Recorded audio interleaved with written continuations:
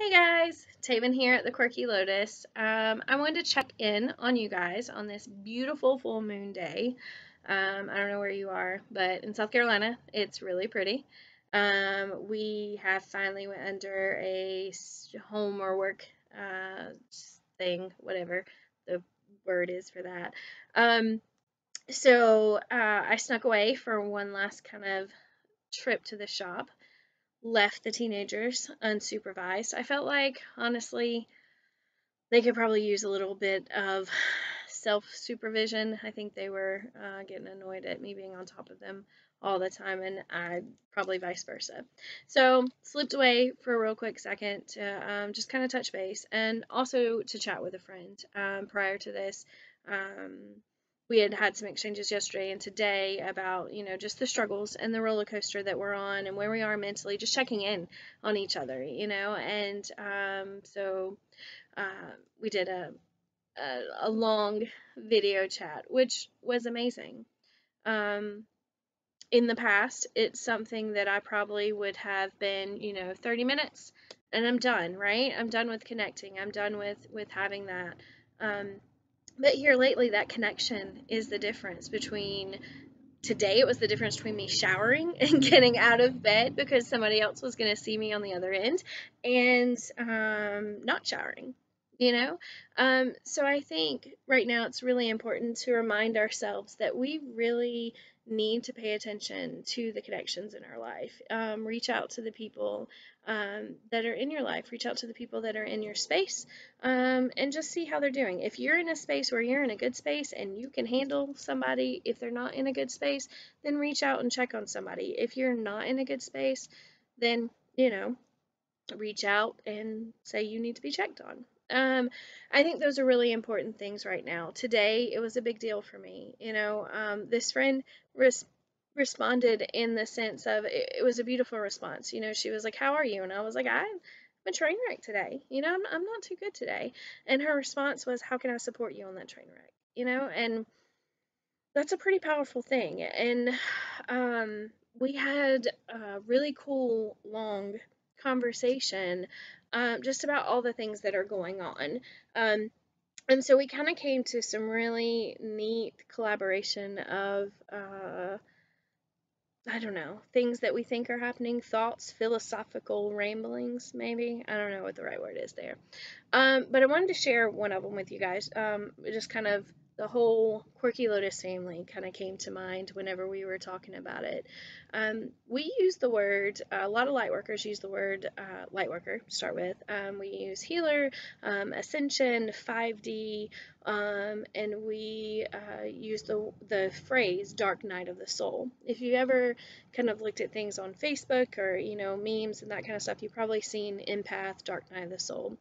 Um, this is completely my opinion, are my collective philosophical ramblings uh, from from parts of my inner circle, but um, I really feel like the whole the world universally is dealing with a dark night of the soul right now. So let me back up and try to explain a couple of, of very uh, juvenile. You know, I'm going to do it in kind of like a I don't know what the word is. But anyway, very non uh, perfect kind of way.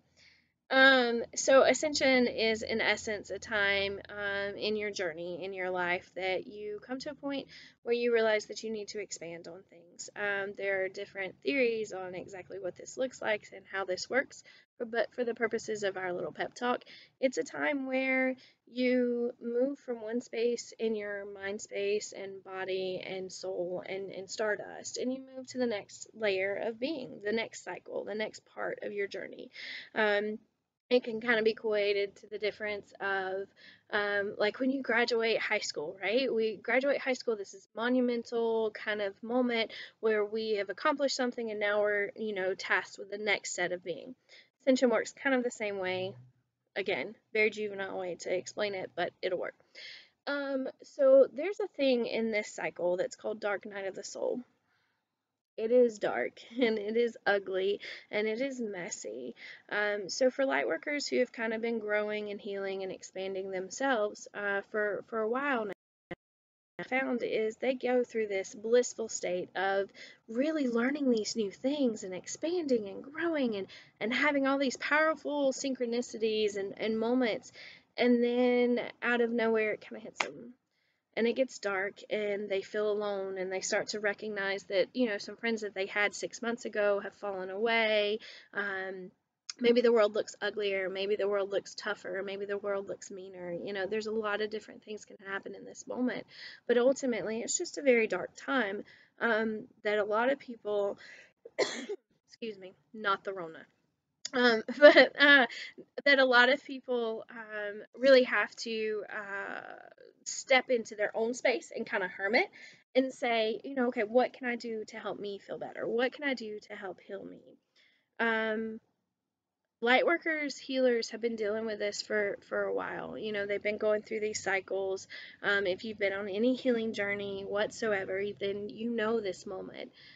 Um, i would like to challenge everyone to kind of see that universally we're collectively kind of going through a dark night of the soul right now. We are going through a time where we're being asked to retreat, being asked to really decide where we put our joy and our love and our focus and our intention and where where do we want to grow things at? Where what do we want to garden? You know, do we want to plant squash or do we want to plant cucumbers or do we want to plant love and patience and you know, all these different things. We're being asked to metaphorically really, you know, decide where we're putting our focus. It's what a dark night of the soul basically calls you to do. It strips away, it throws you in the shower, it hoses you down with cold water and whatever burns your skin, and it lets you emerge a different version of yourself. It brings you a towel and gives you a hug.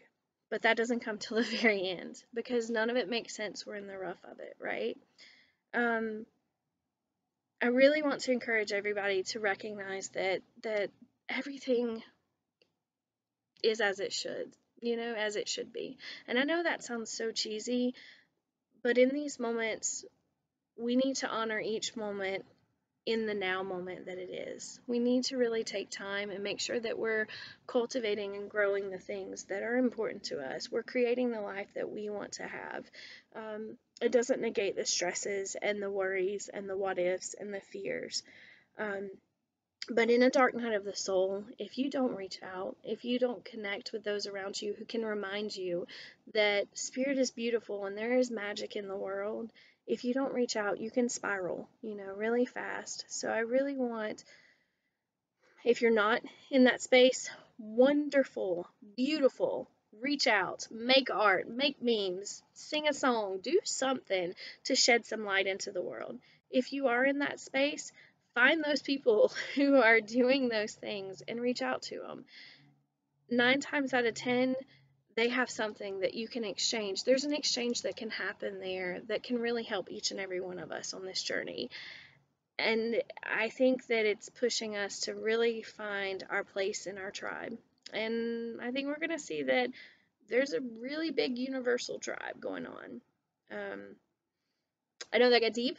No, um, you know, kind of threw it out there, but I really wanted to um, bring those words up. Some of you may know those words, some of you may know those phrases, some of you don't. Um, think about it, take what resonates, leave what doesn't. Um, this does have an end, guys. We really um, we really have more power than uh, we give ourselves credit for. So uh, make sure that you keep your thoughts um, not necessarily in a positive place. If you're not okay, then be not okay. Be okay with not being okay. Yesterday, I was not okay.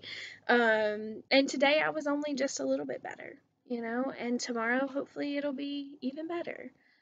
Honor the moment that you're in without beating yourself up for it. Um, allow for each moment to come um, allow for yourself to surrender to that moment, but reach out to the people in your tribe uh, when you need to. And when people reach out to you, don't don't be a dick. Reach back. You know, give something back. Um, at some point in your journey, there are probably people there to help you heal.